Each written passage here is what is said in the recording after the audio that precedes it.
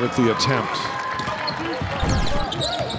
There's a lid on that San Diego basket. Hallinan goes up high. Hallinan with seven. Timeout.